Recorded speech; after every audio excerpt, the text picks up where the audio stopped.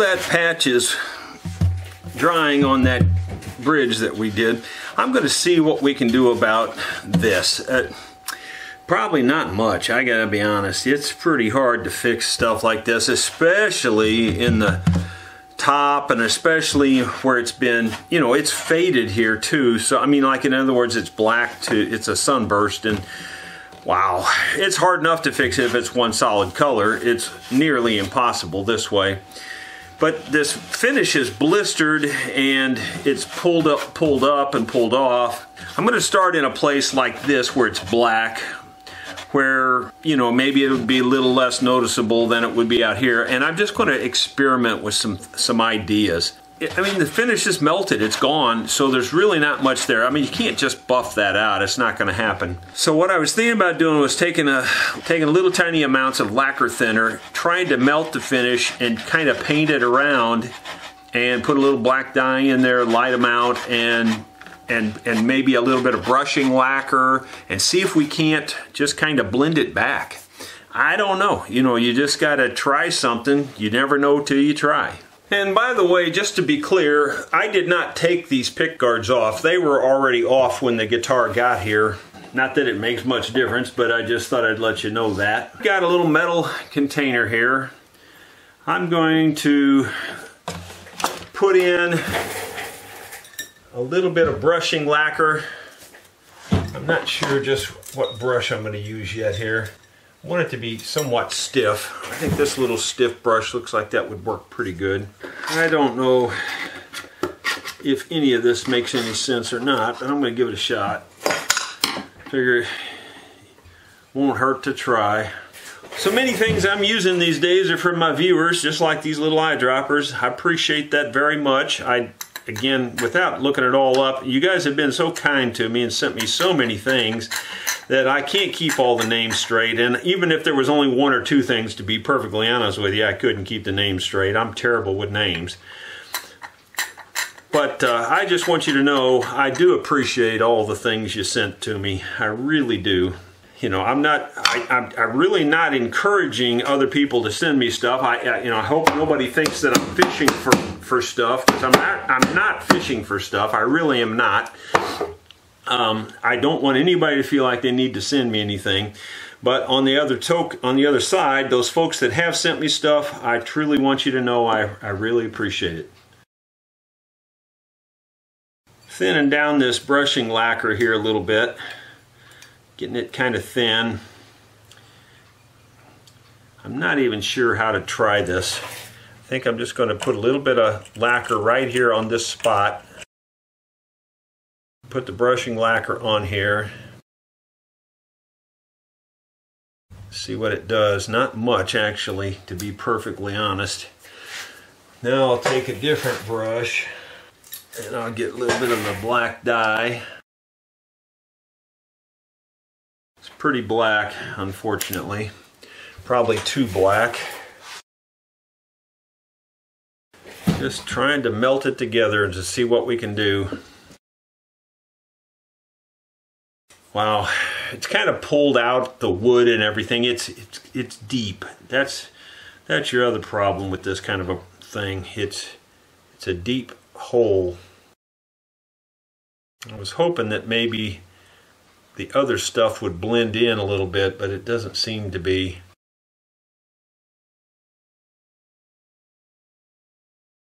Really doesn't seem like it's doing very good at all. Figure anything I do ain't to really hurt it because it's pretty bad. That's not much of an improvement, if any.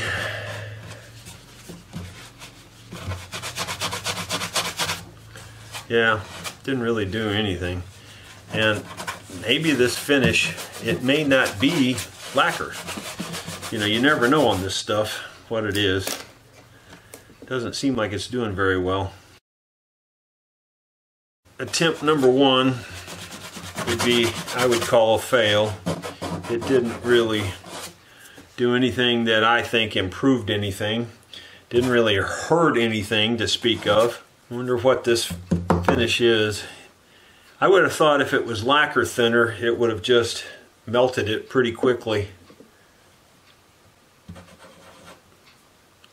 to be honest, it doesn't seem like it's doing much at all.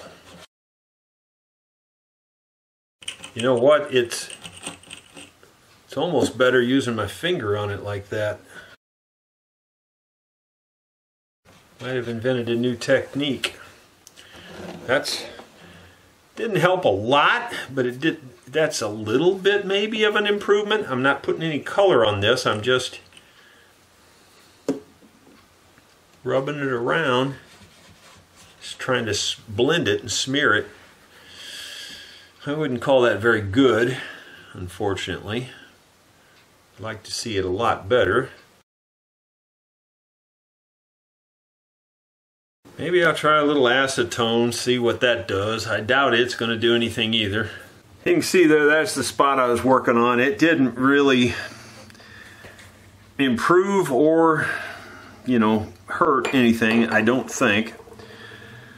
I'm going to try a little acetone. I'm going to try different things and just see if anything works.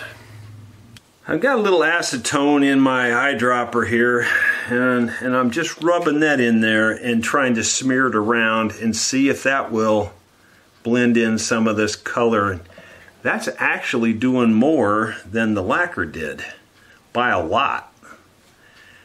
Um, you know, and, and wow, that's, that's actually doing something there. You can see it's cutting it um, by the color that's that's showing a little bit of promise. It's not great because you know you got the problem is that it's you know it's missing the finish, but but I'm trying to blend the where the finish is gone. I need something to smear the old finish back into that because it's uh, impossible to match it. It's just impossible. So here's here's a little bit of acetone out here in the brown black area that we were trying earlier. See if we can melt and blend any of this. Can't really say that I'm improving it much. Put a little bit of lacquer in with that. The acetone definitely melts it better than the lacquer does, which really surprises me because generally that lacquer melts anything and acetone often doesn't do as much. It, to some way of looking at it, I think it's actually a slight improvement, but it's only slight. Out here where this finish is really messed up, I'm going to see if I can blend this and see if we can smooth this out. Really didn't expect any positive results with the acetone, I gotta be honest. I thought it would probably be the last thing that would work, but it seems to actually be doing something. I wish the results were a little more positive. I took the uh, took one of those little tiny needles and put it on the end of this eyedropper. This eyedropper's a little large, and that little needle helps control how much is coming out a little bit better. That helps. Just kind of jammed it on there. I wish it would blend it a little better as it's not covering the spots that are bare. I was hoping that the blend would just kind of cover those spots and just smear it around and then I'm hoping we can sand it out and buff it out and you know put a little finish over the top of it and call it good. Well, to my eye, I think it's an improvement. I, it's hard to say as nasty as it looks because it doesn't look good, but I think it's an improvement.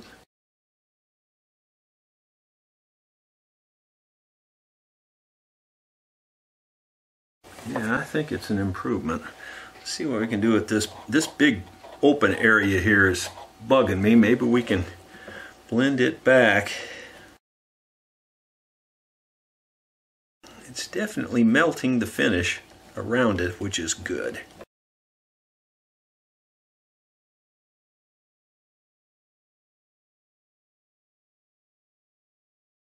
It's the only hope I got because trying to match it any other way ain't gonna happen.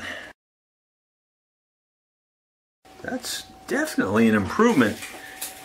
You know, I'm, I'm looking I'm I'm trying to see what it's going to look like after it's buffed out, and and I'm pretty sure it's going to look better this way than it would have if had we just buffed it out with those bright spots. I mean, I don't think we're setting the world on fire or nothing here, but I think we're improving it.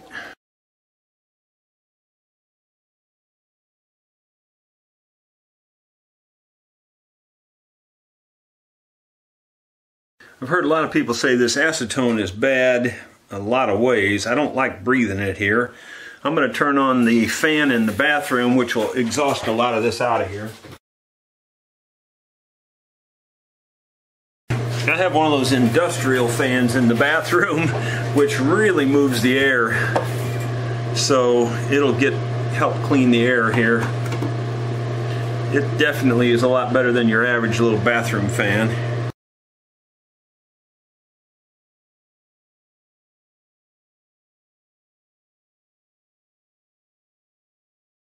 Well, I got to tell you, I'm I'm somewhat impressed with that. that. I know it looks probably looks horrible to you guys right now, but that's actually blending the colors back into it, and uh, it's given me a fighting chance of making it look halfway decent here.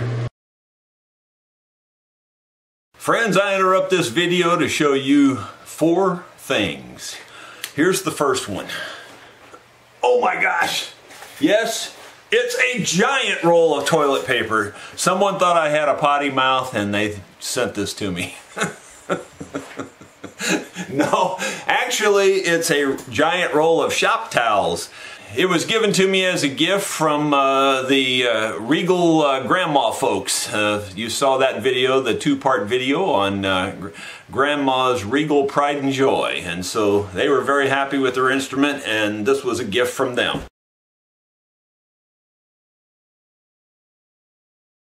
So thank you very much. I appreciate that. I also got a just a check in the mail here. Actually, it's a money order uh, from a fellow who wants to remain anonymous. Uh, so all I'll say is thank you, Don. And I appreciate that. And then I got this uh, in the mail from a fellow that uh, the only name I see was on the box lid, and it's from a fellow in Baton Rouge, Louisiana. Baton Rouge. Um, and it is a handmade uh, glass arrowhead there. Very nice. Very nicely done. Uh, you can tell that he, he knows what he's doing. Very well made. And I, I, I, know it's not original from back then because of how it's made and what it's made out of and etc. and so forth, but it's, it's beautiful. He definitely is a craftsman when it comes to uh, flint knapping. you can tell that. So uh, Mr. Lanier, I believe it is, from Baton Rouge, Louisiana. Thank you very much. I appreciate it. I'll hang that, I'll put this on display. And the last thing I want to show you is these old guitar parts. Uh, I believe they're from a Harmony, according to uh, the, the customer. And uh, there's a tailpiece and some tuning keys and uh, a, a pick guard that I don't know that I could use the pick guard too much because it looks like it is broken pretty badly, but, uh, but that's okay.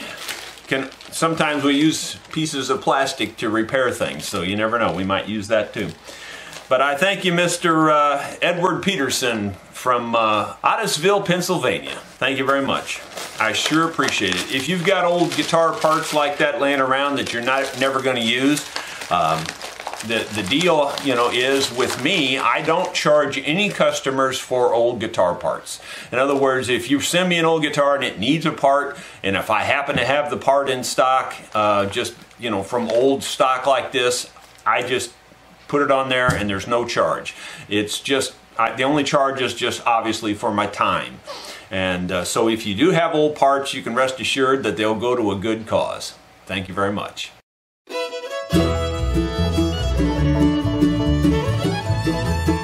You have to kind of blend a bigger area than you're fixing because you got to blend the whole thing back together.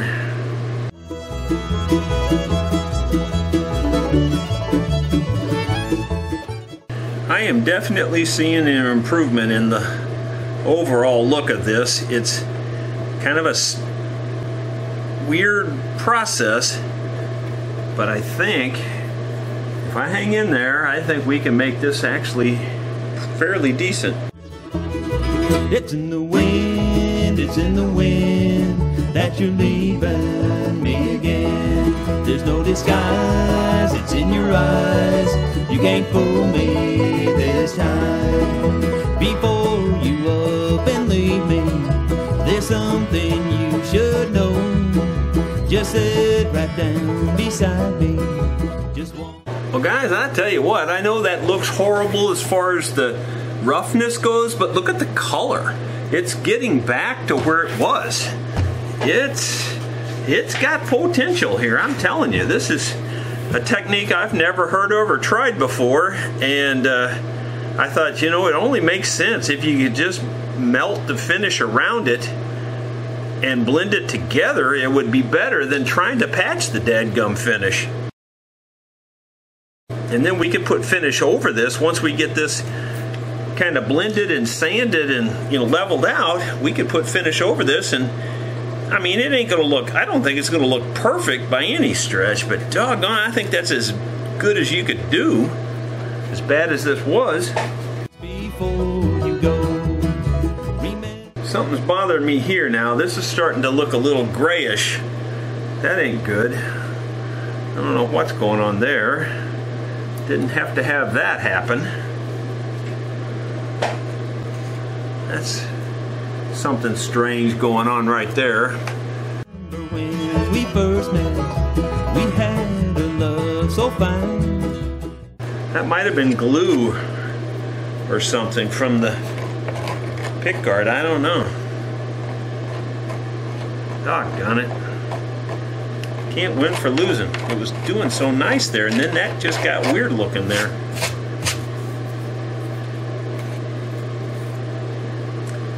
I don't know.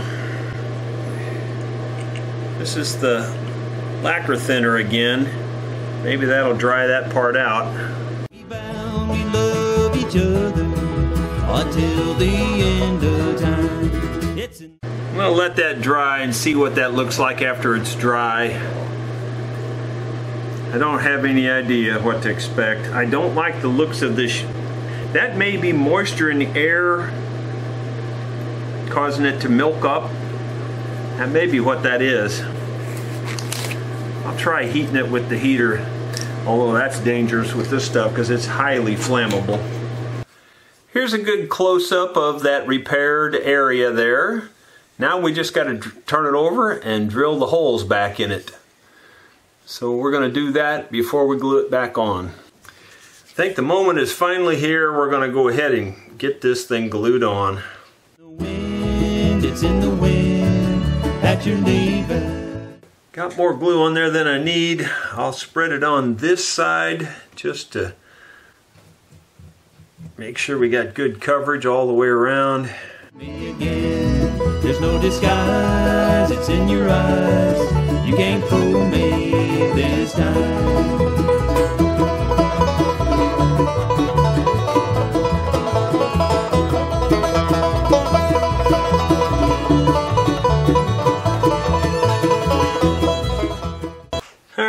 I put the big caul that I made when I made the bridge plate, I put that back in there first.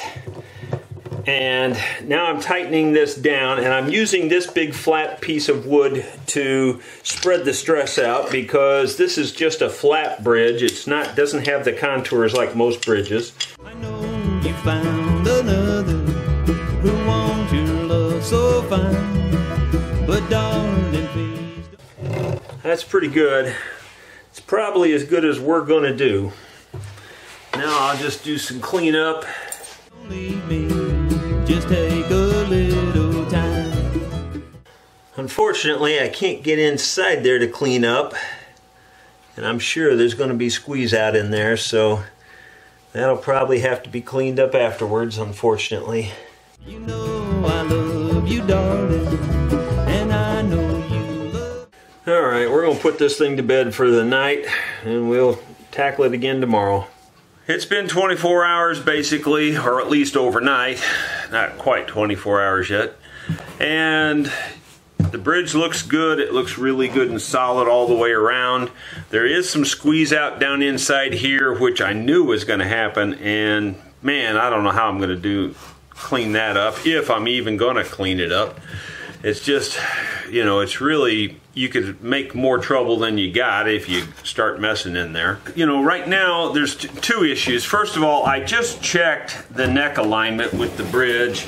It's just slightly off. It's not horrible, but this should be up, you know, a 16th of an inch at least right there. And we're right on the top of the bridge, which is better than being below it. So I think we can live with that. And, you know, the neck itself is, as far as I can tell, is perfectly solid. I don't see any reason to break the joint, at least at this time. We'll set it up and see just how bad it is.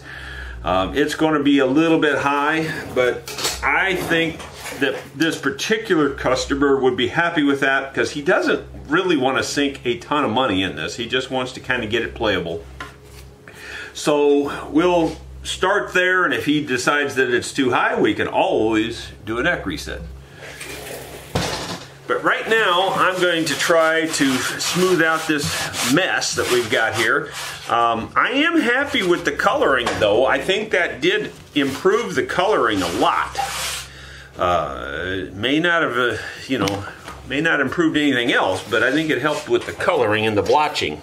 So I'm going to start with some, like, this may be, this may not even be coarse enough, and I'm going to start with some 320 wet or dry, just to knock down this roughness.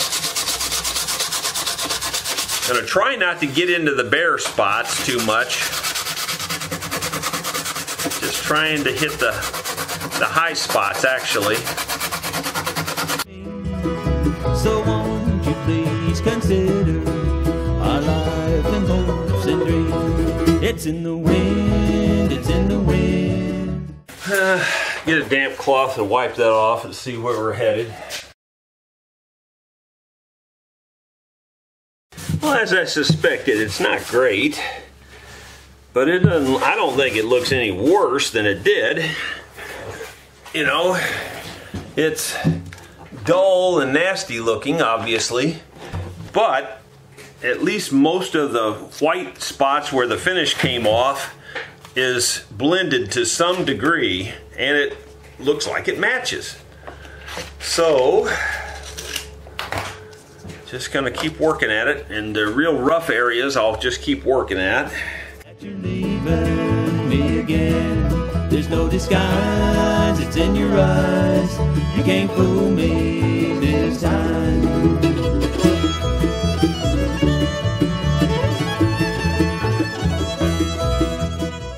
Well, you know, it still looks bad. But dang, it looked bad before. You know, I don't know what to do with that now. I, I know it needs some kind of coating over it. I want it better. I really do, but I don't think it's any worse than it was, that's for sure. I think it's I think it's better than it was.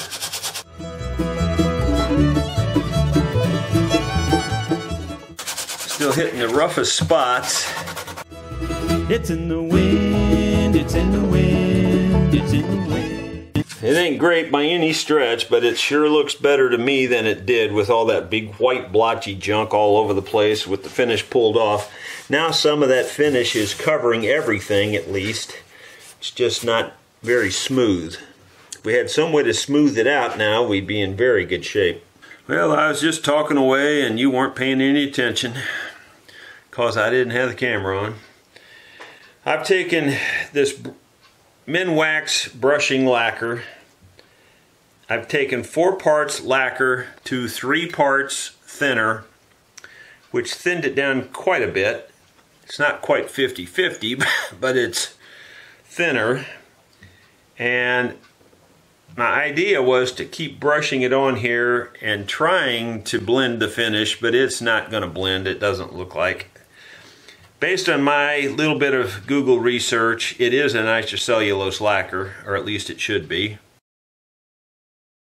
Here's the way I look at this kind of thing guys. I you know everybody knows you can't really make a silk purse out of a sow's ear. But you might be able to make a cloth purse out of a sow's ear. And so that's kind of what I'm doing here is I'm just trying to make a cloth purse out of a sow's ear eh, rather than a silk purse. At least then you'll have a purse, you know. It's it's bad. It ain't going to get much better, you know. When you screw something up that bad, it's tough to fix. I mean, sure, you could refinish the whole thing, don't get me wrong. But I know he doesn't want to go to that kind of expense. And I'm sure I could refinish it, it would look pretty decent. But we're not going there. He just said, do what you can, and if you can make it look a little better, great. If not, don't worry about it. And so, you know, with that attitude, I think I've actually made it look a little better, especially if we can sand this out, buff it out, stuff like that, and make it look blend into the old finish. So you can see there, it's still just as blotchy as heck, but I don't know of anything that's going to fix that. From across the room, it's not nearly as bad as it was. Uh, it's still noticeable, but from across the room before, it was very noticeable. It's been several more days since I was working on this guitar. Uh, just so many projects.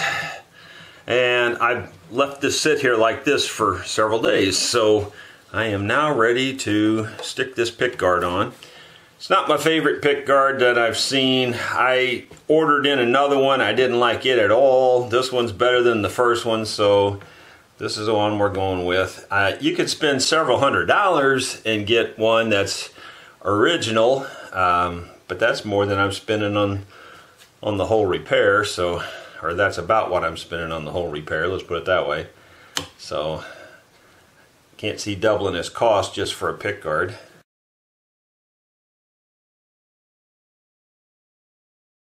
Once you stick them, you can't really do much about it. By the way, I sanded off the area where this is going, got it real smooth. And I just kind of looked at this line right here and tried to get it even. And the rest of it is pretty close, but it's not absolutely perfect. It's just close. Like there's a little bit right here, a little bit right here. You know, you just got to go with what you got. And, you know, it's not like it's a permanent one-time shot type deal. You can always take it off, put something else on if, you, if you're not happy with this. This was only a few dollars compared to spending several hundred dollars for one that quote-unquote is supposed to be original. The tape left a little residue there, so I'm going to see if I can get that off. I think it'll come off. Alright, we're getting close to stringing this thing up. Well, the only thing we got left to do now is a fret job I'm not going to film the fret job because I'm just doing the same old thing that you've seen me do dozens of times before. I've already started leveling the frets, just leveling them, but I thought I ought to at least give you a close-up of the fretboard so you can see how bad it really is. It is in pretty bad shape, at least in terms of looks. Um, there, there's a lot of deep grooves in the in the frets. I've already filed quite a bit of it out because I did start leveling it already. As you can see, the tops are flat on the frets. So anyway, that's a before shot. We'll show you what it looks like after. Well, I got to tell you, I had to file the tar out of those. And you might say, you should just replace them, because that's the first thing everybody says. Just replace them. Well, you know, that's easy said, not so easy done. First of all, to replace them, you got to take them all out. You're going to chip up the fretboard all over the place.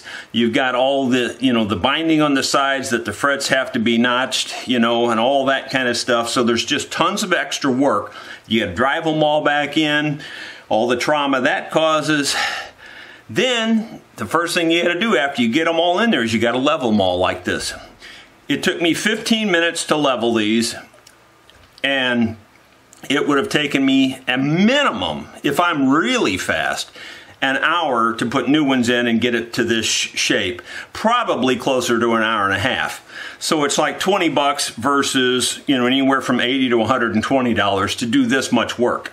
Now we're still not finished, but I'm just giving you a comparison there. There you go. That's why we did it. And and it's also it's kind of like your bath towel. You know, you can wash it after every use or you can use it twice and then wash it. And that's kind of the way this is. We're using these frets twice. The next time they're going to have to be replaced. These were probably the deepest grooves that you can make in frets without ever filing them. I mean, I don't think these frets had ever been filed, and the grooves go very deep. A lot, of people say their grooves are deep in their fretboard, but a lot of it is optical illusion, like it, it, that mirror effect makes it look deeper than it is. These suckers were deep, just plain deep.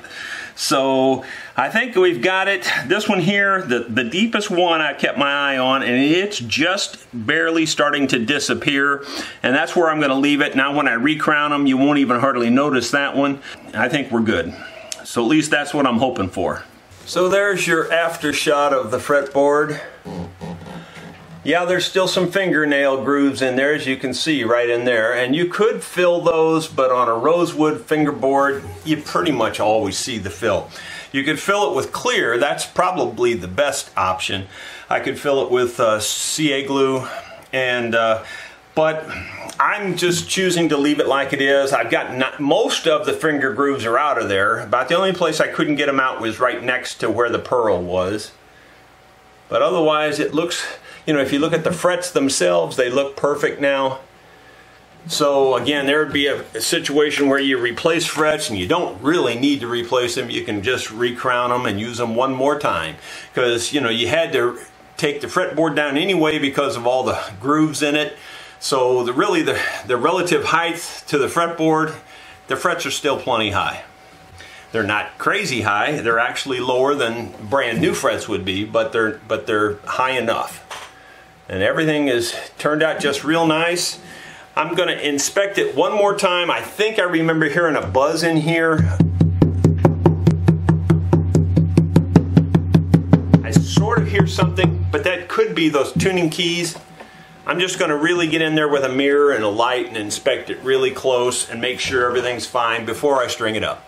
I checked it all over for loose braces. I couldn't find anything. So, you know, and I really did take a lot of time and look in there really good and, and tried to wiggle things with my hand. I couldn't find anything loose. So I'm going to call it good. Um, the last little tidbit is there's no truss rod cover on this. And, you know, typically just buy a truss rod cover, put on there.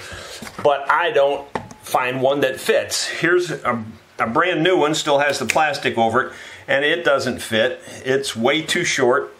Uh, this is the shape it had on it more, and it's uh, just a little too short and it's a little too narrow. Here's one that was homemade. It's the right length. The holes actually match up, but it's still too narrow. So I think I'm just going to use this one as a pattern draw around it with a Sharpie and use the outside edge of the Sharpie mark as my width and just make a new one. That's the best I can come up with.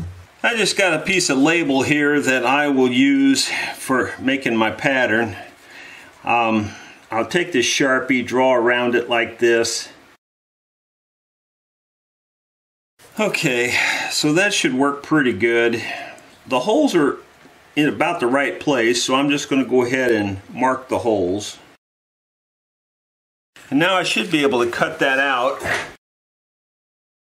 to that black design there. Leave the black on there and it should be big enough. It's in the wind, it's in the wind. And what I'll do is uh, I'll test it to make sure it's going to be big enough. And I still have, know, I can still tweak it on the wood itself by not cutting so narrow if I need to. But there, there's the outside pattern.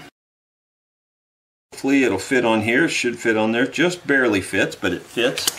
Let me just double check it on the guitar, make sure it's gonna be big enough. I think we could get by with that, but I, even on these sides here, it's still a little narrow. So I'm just gonna, when I cut it out, I'll just cut it out a hair proud and we should be good to go. Matter of fact, I could leave the pencil mark. Then I'm gonna, think I'm just gonna use that as my pattern. I was gonna stick it on there, but I think I'll just draw it on there. So I'll go cut that out. I think you can see that the one I just finished making is significantly bigger. It's just way bigger.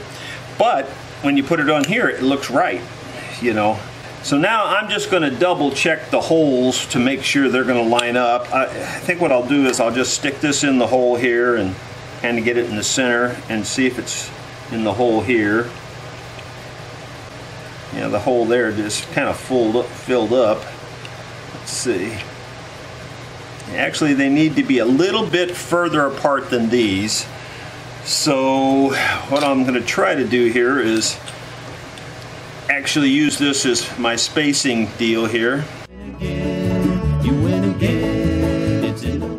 So that should give me a pretty good spacing there. I think we got it. Should be able to drill that out and bring her back, put her on. Well, there's a look at the truss rod cover. It fits it just fine. It was a big hole, so it needed a big cover but everything looks good now. I just oiled it with some linseed oil. Well, the last thing I've got to do is make the saddle for this. And looking down the neck angle back to that, uh, it's, you know, a little, this is, I wish this was up just a hair. I mean, it's almost level, it's just a hair below level. If it was level or even just a little bit high, I'd be much happier, but um, it still should work, and I think we can still get the action down, but because of that, we won't be needing a very tall saddle, I don't think. So I'm going to measure the depth of this, and the depth is about 115 thousandths, double check that. 108 I got that time. 113. 114. So we're going to call that 115 thousandths on the depth.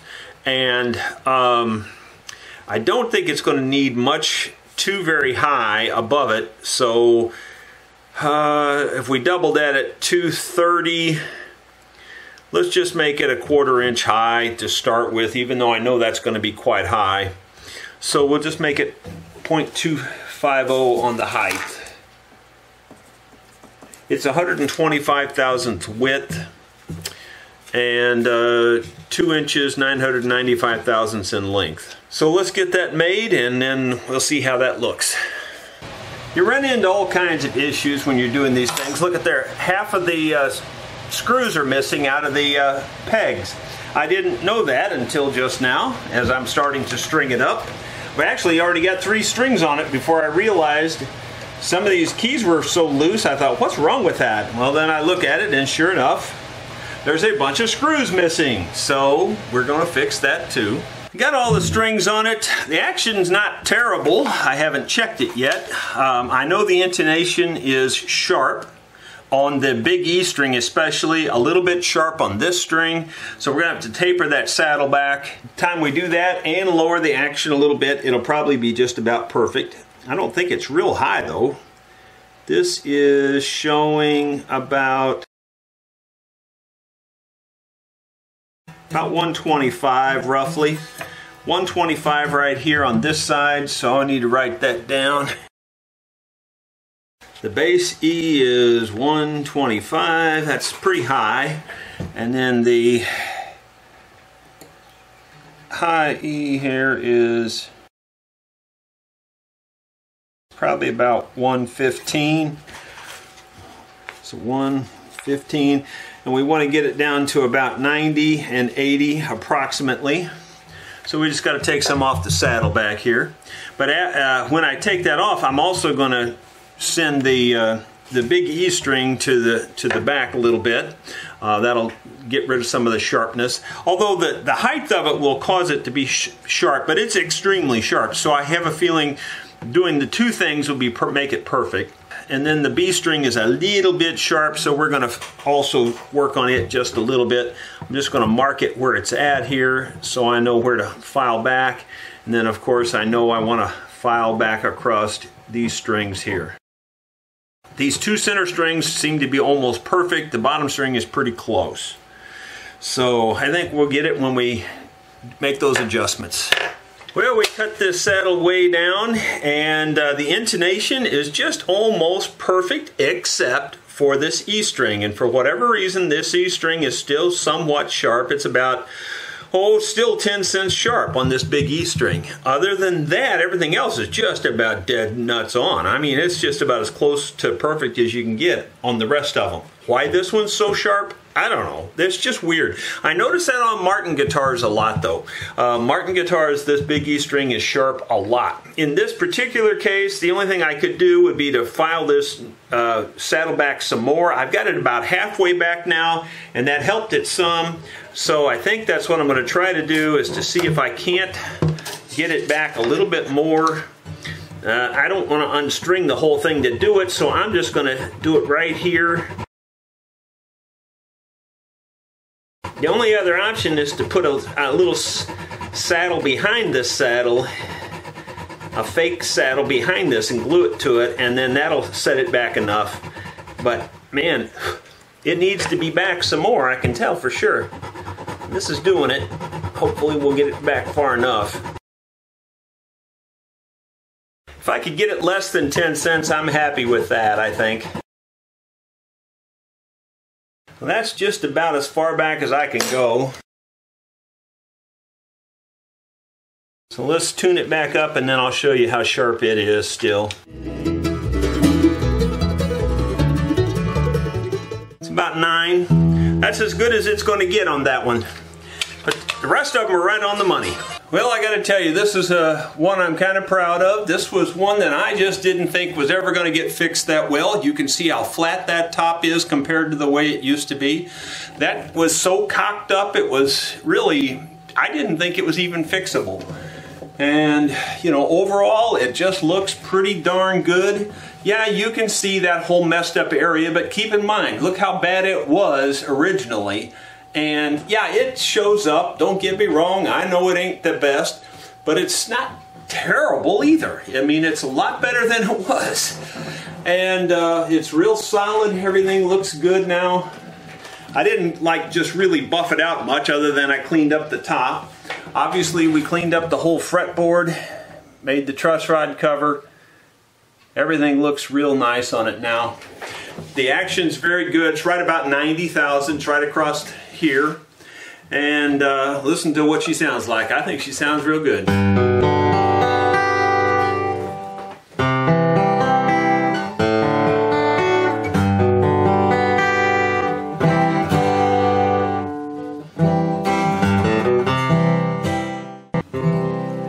I picked out a uh, old song that I'm hoping the YouTube police won't get a hold of here and take all my revenue away from me.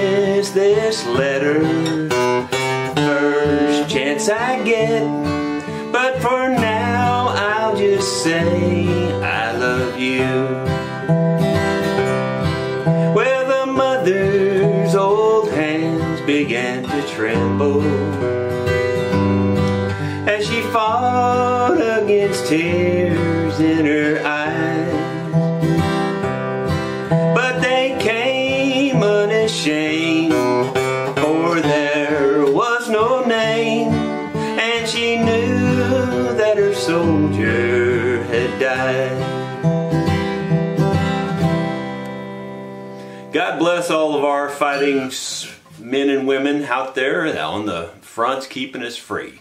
So I hope you like that.